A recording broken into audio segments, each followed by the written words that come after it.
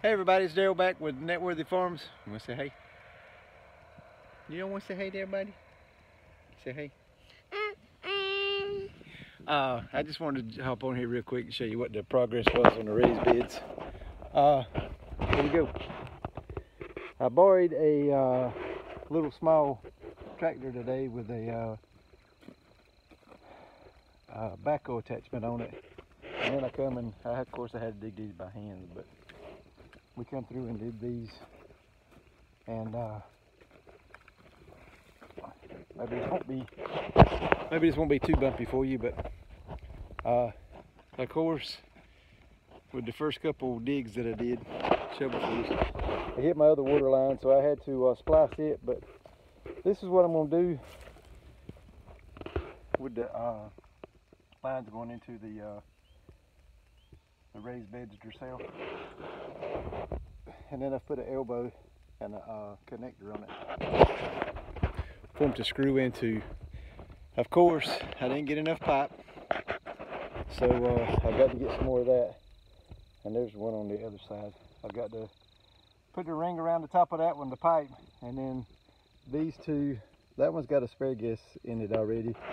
And I put strawberry plants in that one, but they kind of look like crap. So I don't know what they're going to do, but that's the progress so far. Uh, I had this water hydrant right here in the place where this splice is at. And uh, I took it out of the, the works, but I've extended my other pipe right here on back around to over here. And uh, I'm gonna end up putting my hydrant and all my controls back right here right between the blueberry bushes and this other uh, bed. And the reason why I'm doing that is so I'll have uh, a water spigot or hydrant uh, right here where these raised beds are, the garden that I'm gonna put in the ground, and I'll also have a have it for auxiliary for uh, doing the uh, raised beds. So that's an update on that.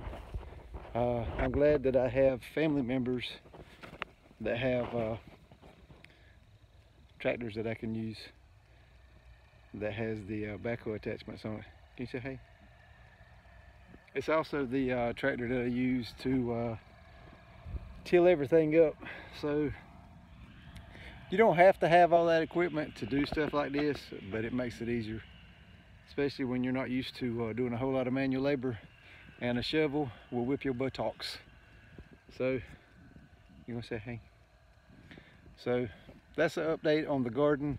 Little man was out here running around today and got stung by a honeybee on the back of the head. He had his hat on and I think the bee decided to try to get in up under his hat and got got in there and stung him. So he got his first round of uh, bee venom today. Did it hurt? And also this week we had a big a big thing happen. You want to tell them about little uh, little brother? We had uh, Weston born on Monday. Uh, when he was born, he weighed 9.5 pounds and he was 21 and a half inches long. He was a big boy, but he wasn't quite as big as uh, Wyatt was when he was born. Wyatt weighed 10.3 and he was 21. I want to say he was 21 and a half inches long.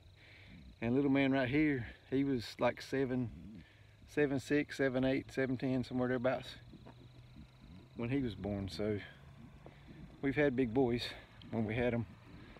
So, but that's the update on the raised beds. That's the update on everything else that's going on. You said bye-bye? Bye-bye. And we're going to uh, sign off on that. Hope y'all having a good weekend. We got lots of work to do around here, but I just want to give y'all an update. Hope y'all doing good. And as always, we'll see y'all on the next one. Can you say bye-bye? Bye-bye.